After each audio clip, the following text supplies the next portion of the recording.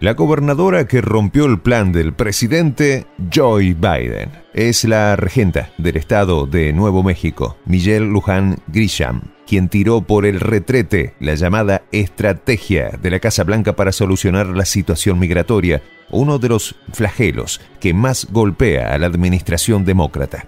Pero es que la solución de Biden para frenar la avalancha de migrantes sin elaborar un plan bien estructurado chocó con el escenario de Luján, que no puede asumir las consecuencias que pueden empeorar el panorama de Nuevo México.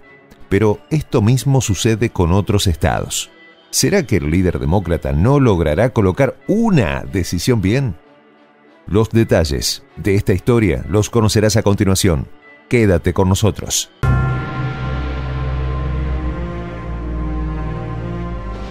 Voz de la Patria Grande. Muchos tenían la sensación de que no sucedería, pero pasó.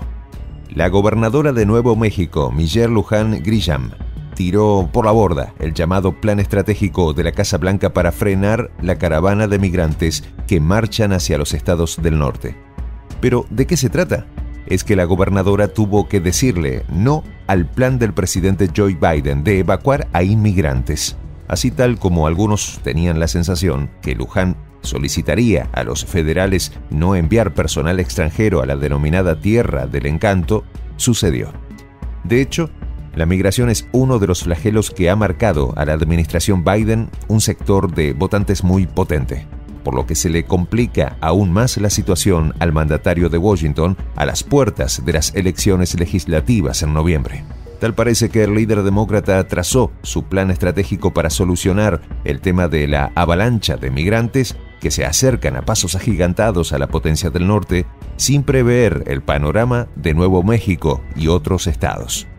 Tras una declaración de Luján hace unos días, señaló, la emergencia existente derivada de estos incendios forestales ha puesto a prueba severamente la capacidad de nuestro Estado, donde además mencionó, para proporcionar recursos a los que no son de Nuevo México. No puedo permitir que los gobiernos y las comunidades del Estado de Nuevo México se hagan eco de cargas adicionales que caen directamente dentro del ámbito del gobierno federal. Así fueron las palabras que rompieron con la llamada estrategia de Biden. Pero no fue la única. La abogada senior en el Centro de Leyes de Inmigración de Nuevo México se montó al mismo carro de la gobernadora y expresó, la verdad del asunto es que los migrantes y los solicitantes de asilo no tienen acceso a los beneficios sociales. Los inmigrantes no cuentan con los planes económicos como los estadounidenses comunes, aclaró la abogada Sofía Genovese, donde además ripostó. Así que no creo que sea una declaración precisa, refiriéndose a la estrategia de la Casa Blanca.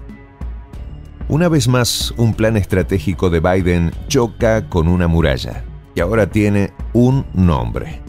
Miguel Luján Grisham.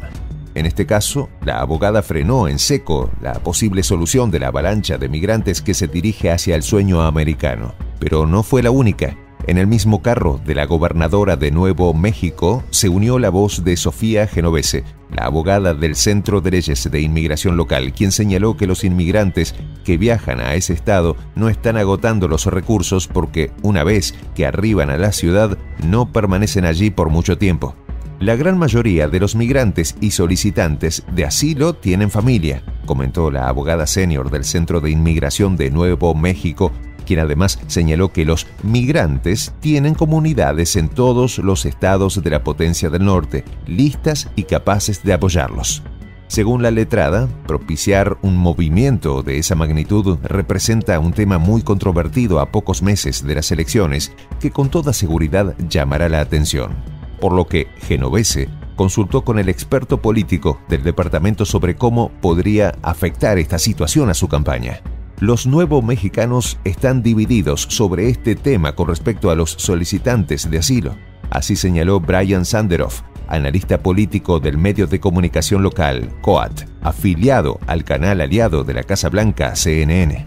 De igual forma, Sanderoff indicó que, así pase lo que pase, que se mantuviera firme porque solo complacerá a algunas personas y desplazará a otras, fue la conclusión del analista político con respecto a abordar el tema sobre los inmigrantes.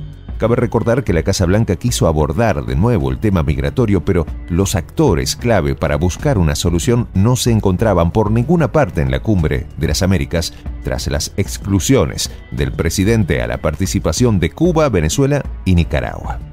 Según reconoció el medio aliado de la Casa Blanca, CNN, en una nota de prensa, Guatemala, El Salvador y Honduras juegan un papel preponderante en el tema migratorio y agregó que estos tres países de la región son los de origen para decenas de miles de migrantes, que constituyen un tránsito clave aún para más viajeros.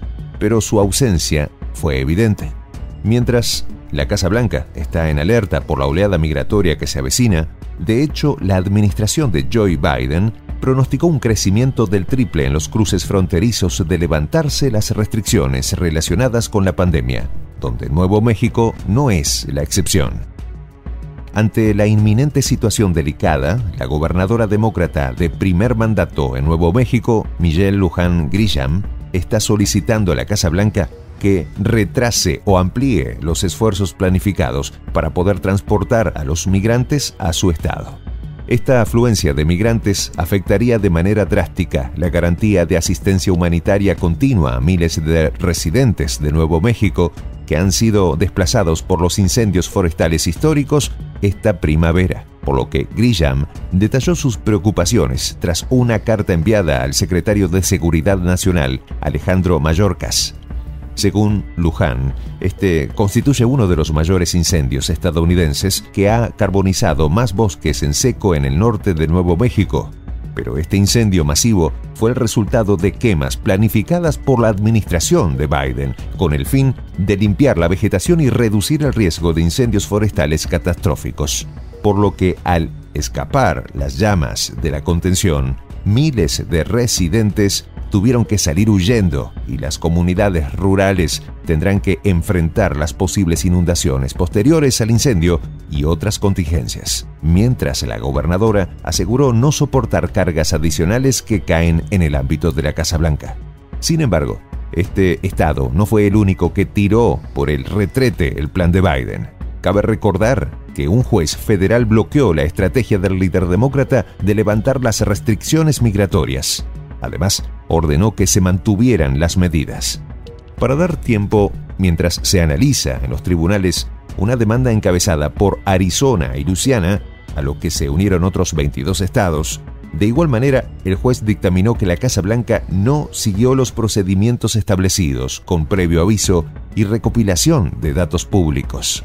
Pero el juez fue más allá y pronosticó que el fin de las restricciones incrementaría los cruces fronterizos en hasta 18.000 diarios que podría desencadenar más inmigrantes procesados en entornos congregados, donde se pueden propagar enfermedades contagiosas.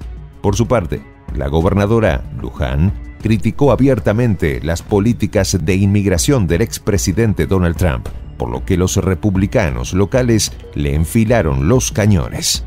Sin dudas, Nuevo México enfrenta a la demócrata Luján y a Biden. Mientras, la gobernadora le partió en dos el plan al presidente Joe Biden. ¿Será que el líder demócrata no logrará colocar una decisión bien? Soy el J, Juan José del Castillo, director del canal Prensa Alternativa. Si quieres ser parte de la comunidad de la Patria Grande, suscríbete a nuestro canal.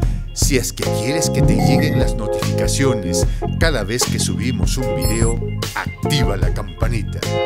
Si quieres apoyar a nuestro canal económicamente, puedes hacerlo a través de PayPal. El enlace está en la descripción del video. A nombre del equipo de prensa alternativa, me despido con esta expresión en el quechua milenario, Tupananchis Kama, cuya traducción es hasta volvernos a encontrar.